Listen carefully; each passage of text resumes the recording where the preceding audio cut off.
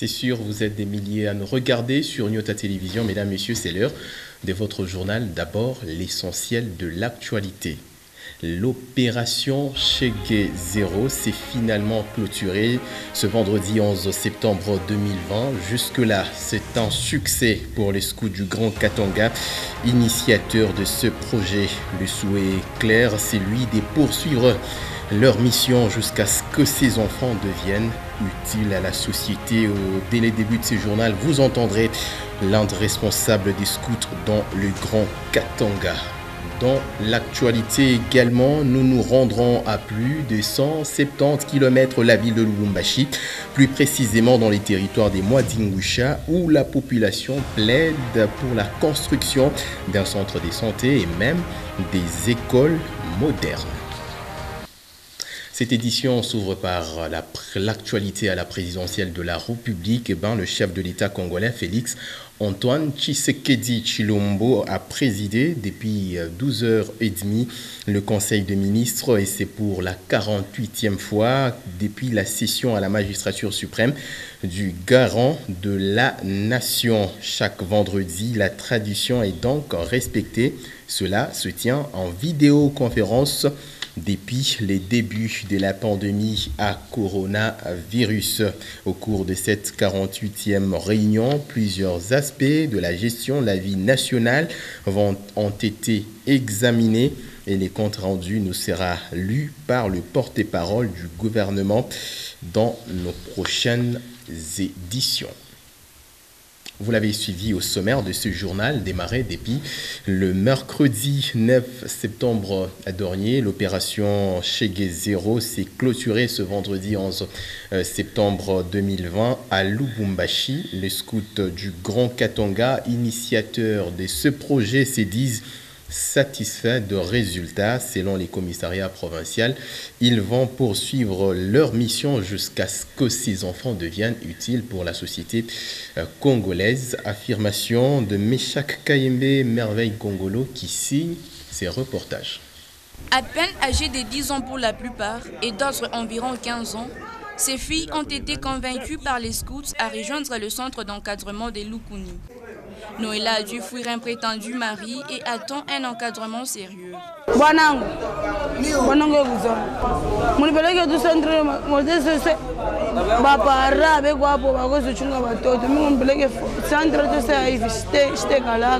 Elle, comme plusieurs centaines de jeunes de son âge, ont accepté de quitter les rues de Lubumbashi grâce aux scouts. Un objectif poursuivi par les descendants des Baden-Powell en collaboration avec les gouvernements du Haut-Katanga. Justin Kimpoto est le commissaire des scouts du Grand Katanga. Nous avions en mission de ramasser, ou plutôt de conduire à Lukuni, au centre des jeunes de Lukuni, les plus jeunes qu'on peut encore euh, instruire, qu'on peut éduquer facilement.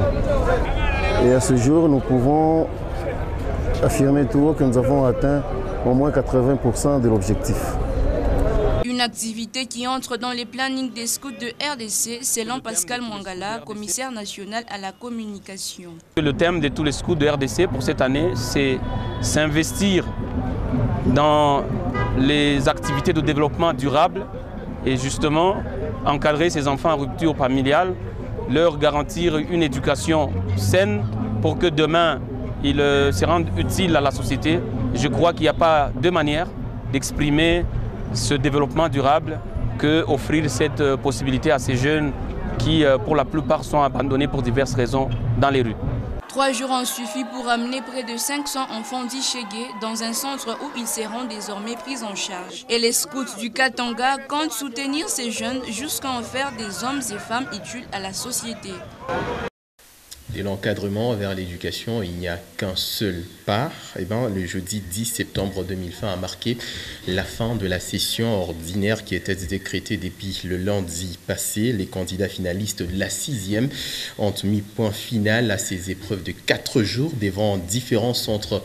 C'était une ambiance euh, inhabituelle qui a régné juste après cette journée qui était consacrée aux langues.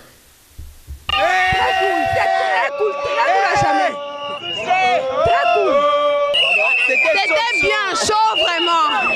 Oui, oui. La question à laquelle j'ai répondu facilement, il y avait euh, cinq, j'espère cinq mots.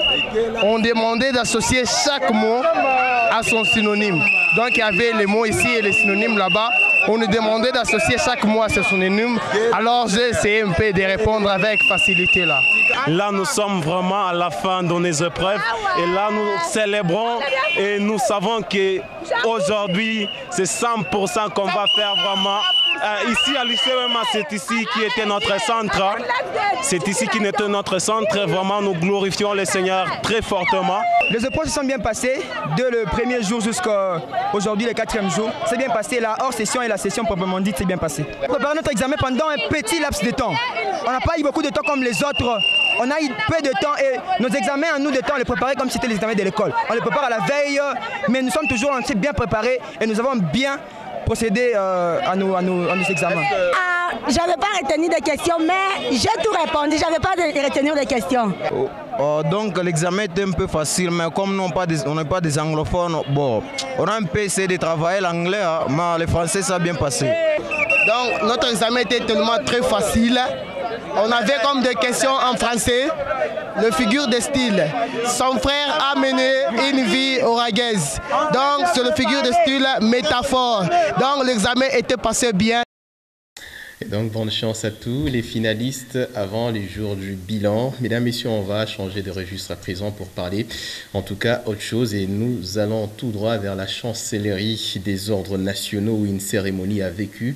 Une cérémonie de décoration des dignitaires d'État a vécu ce vendredi 11 septembre 2020, organisée à l'hypnose Lubumbashi. Cette manifestation riche en couleurs a vu 217 dignitaires d'État recevoir des médailles d'or des bronzes et même euh, des médailles d'argent également, ainsi que les diplômes des mérites dans différents euh, domaines de la vie. C'était en présence des autorités politico-administratives et du colonel John Muyumba, qui est le directeur général de la chancellerie des ordres nationaux. Ben Kaimbe pour plus de détails.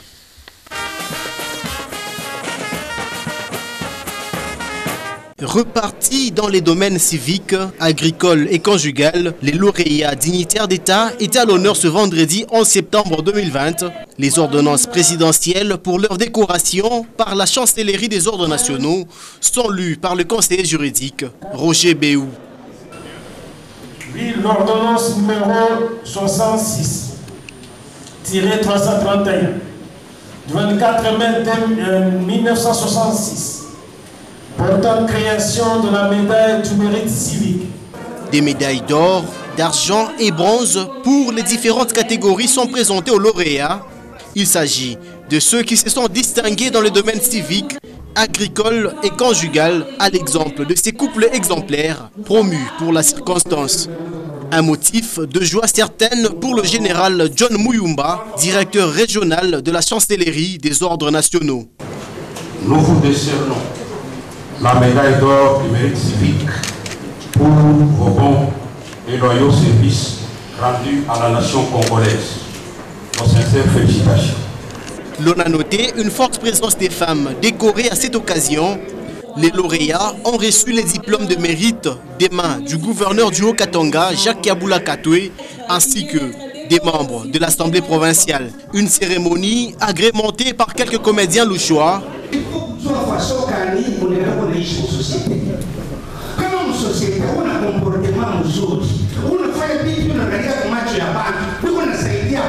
motoya shinya yoto kashi otu fafshia o kasongo en l'occurrence french kashi jatu to la kanyo futa shi oto shikshi sa shisha yotu son excellence Jacques Kabula Katwe kaho punya 217, c'est le nombre de lauréats médaillés à cette occasion par la chancellerie des ordres nationaux.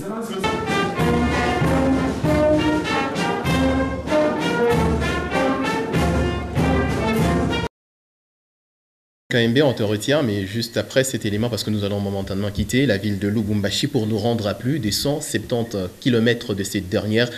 Il s'agit du territoire des mois où plusieurs infrastructures des bases posent en tout cas des sérieux problèmes. La population de cette entité plaide pour la construction d'un centre de santé moderne et même des établissements scolaires. Des précisions avec ce reportage. Mwadinguisha fait partie des territoires de la province du Haut-Katanga. Situé à plus de 170 km de la ville, ces coins éprouvent plusieurs difficultés d'ordre social. Au-delà du manque d'eau potable et de l'état que présente la route, la population des Mwadinguisha plaide pour la construction d'un centre hospitalier.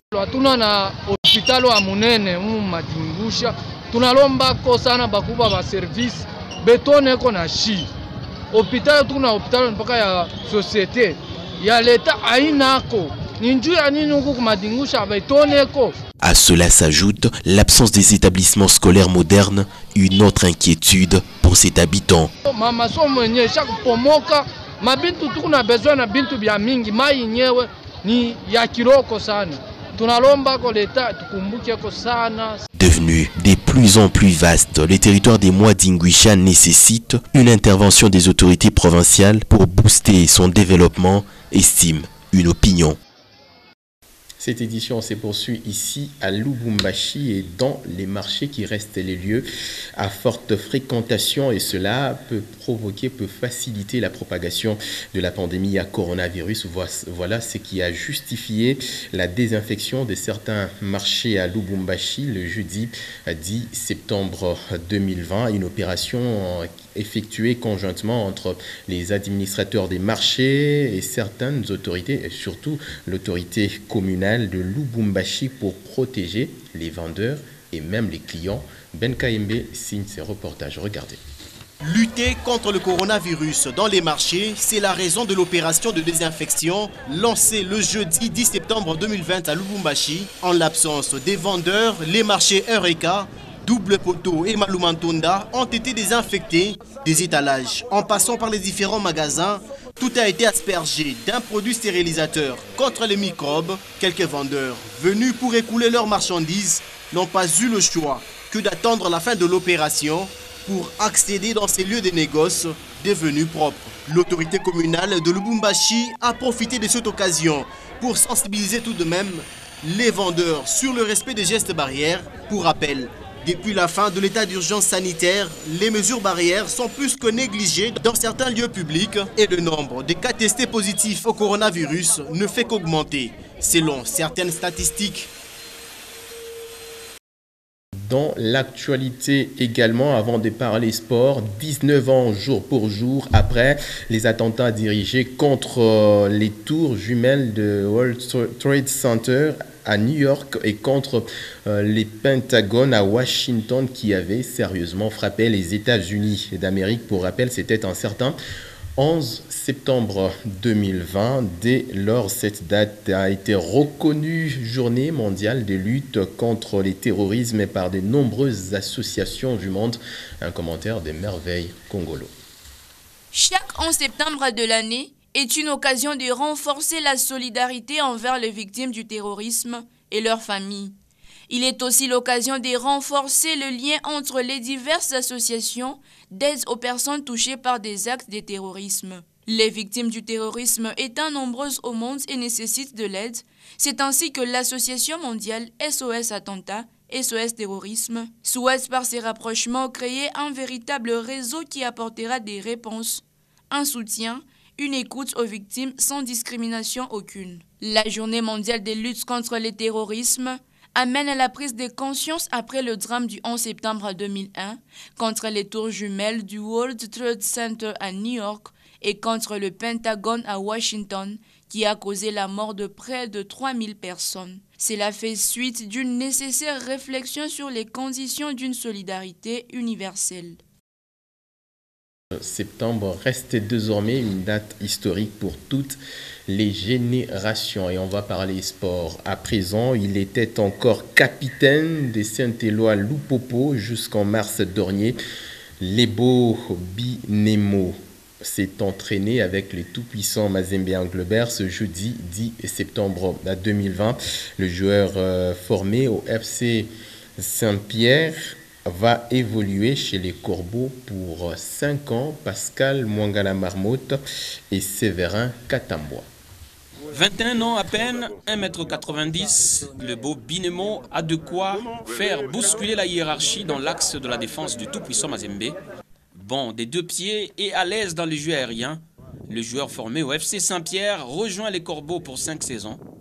Dans le groupe de Dragan Svetkovic depuis ce jeudi 10 septembre, Binemo va tenter de faire parler l'expérience acquise notamment au FC Lupopo.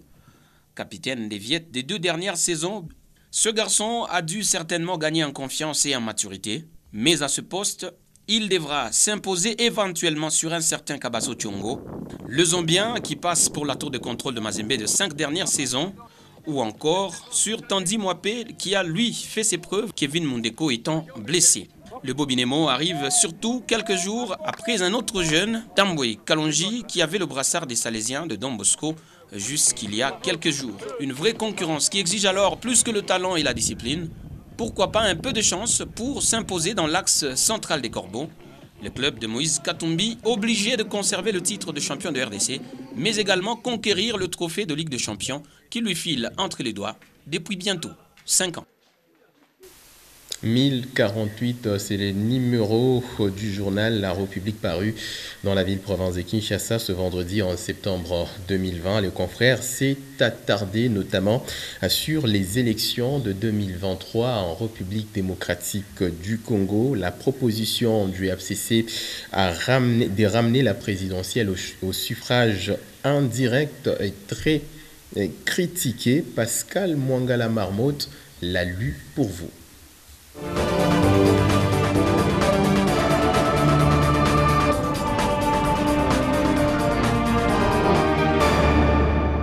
Bienvenue mesdames et messieurs à votre lu pour vous sur votre chaîne Enjeux politiques, dangereuse panique au FCC, titre le confrère à la une du journal La République, numéro 1046 paru à Kinshasa ce vendredi 11 septembre 2020. Il est indéniable que les cadres du Front commun pour le Congo ont perdu sommeil, comme en témoignent les nombreuses initiatives prises visiblement à la hâte. Tout part pour le plus récent du dossier du renouvellement des animateurs de la Commission électorale nationale indépendante CENI. Le FCC a été le seul à soutenir non seulement la personne, mais aussi la formule de validation de Ronsard Malonda à la Chambre basse du Parlement. À cela se greffent les propositions des lois dites Sakata Minaku dont le plus grand péché aura été le caractère inopportun. À contre-courant de tous, le FCC prend encore le flambeau de la campagne pour un scrutin présidentiel indirect. À la base de toute cette agitation, des observateurs notent la panique devant l'éclipse, certains des indicateurs pouvant permettre le retour au pouvoir du régime précédent. Et aux confrères d'inviter les Congolaises à une méditation autour d'une question la hargne à revenir absolument au pouvoir ne conduirait-elle pas à recourir aux armes Sur la même page, le confrère titre encore présidentiel au suffrage indirect pour Christophe Lutundula, le FCC veut institutionnaliser la corruption. Selon cet élu de Katakokombe, la famille politique du président honoraire Joseph Kabila veut institutionnaliser la corruption. Il est inconcevable qu'au moment où le peuple congolais stigmatise avec la dernière énergie la corruption après l'expérience triste que nous avons vécue aux dernières élections des sénateurs et des gouverneurs dont la marque historique a été le record en matière de corruption en faveur du FCC, déploré même par le président de la République qu'une frange de la classe politique puisse penser à institutionnaliser la corruption, a-t-il dit dans un entretien exclusif. Cet allié de Moïse Katumbi dans Ensemble pour la République persiste et signe cette proposition du FCC qui ne viendra qu'institutionnaliser la corruption ne passera pas. Maroc, le rapatriement du corps de Joseph Mobutu pour bientôt, s'interroge le confrère sur la page 2. La dépouille mortelle de l'ancien chef de l'État congolais, Aïrois, Joseph Désiré Mobutu, sera rapatrié en RDC dans les prochaines semaines, affirment des sources sûres à l'occasion du 23e anniversaire de son décès ce lundi 7 septembre 2020. D'ailleurs, ajoute ces sources, au jour d'aujourd'hui, les discussions entre les autorités congolaises et la famille biologique de Mobutu tournent autour du lieu du sépulture et l'organisation des activités. Les autorités prévoient la construction d'un mausolée scellé, tandis que certains membres de la famille veulent que cet édifice mémorial soit érigé dans sa province natale, Équateur. Néanmoins, sur ce point, la tendance penche de plus en plus pour l'option levée le pouvoir public. Une autre dépouille, toujours sur la même page, la justice belge décide, la précieuse dent de Lumumba sera restituée à sa famille. Après de fortes pressions exercées par les organisations non gouvernementales de droits de l'homme, à Kinshasa, la justice belge se dit finalement disposée à rendre les restes de Lumumba à sa famille, notamment sa dent, selon l'agence de presse belga ce jeudi 10 septembre 2020. Après un avis positif du parquet fédéral, le juge d'instruction a décidé qu'un objet, en l'occurrence une dent, pourrait être rendu, autorisant ainsi la famille du héros de l'indépendance de la République démocratique du Congo de venir la chercher au greffe. Culture sur la page 10, Music in Africa Live, Ferregola annonce la sortie de son single Regarde-moi en ce mois de septembre. C'est du lourd qui arrive avec Cher de Poule. Récemment interrogé sur le lancement de son prochain album Harmonie, Jésus des Nuances avait annoncé la sortie de ce single comme précurseur de son projet. Le chanteur avait aussi annoncé à tous ses fans le changement de son style de musique. Il est donc passé de la rumba congolaise à la rumba trap. Regarde-moi, c'est l'intitulé de cette chanson. Sport pour finir sur la page 11, Standard de Liège, Jackson Mouleka impressionne ses coéquipiers, la presse déjà à ses pieds, s'exclame le confrère. Dans son compte rendu de ce premier jour de Mouleka, la dernière heure rapporte les impressions des observateurs de la pépite congolaise. Lors de cet entraînement, avec le groupe, Mouleka aurait battu les records impressionnants, donc. D'un autre côté, la presse locale n'en peut plus d'attendre les débuts officiels de Jackson Mouleka. Un objectif plus réaliste serait ainsi de viser la venue des Gallois de Town FC le jeudi 17 septembre prochain pour le compte du deuxième tour préliminaire de l'Europa League, prédit le journal sur son site internet. Quant à vous, je vous suggère de battre toujours le record du respect des gestes barrières contre le coronavirus. Fin donc pour vous, dont l'intégralité est à retrouver sur www.yota.net. Merci à tous de l'avoir suivi et surtout tâchez de quitter ce monde en l'ayant rendu un peu meilleur que vous ne l'aviez trouvé.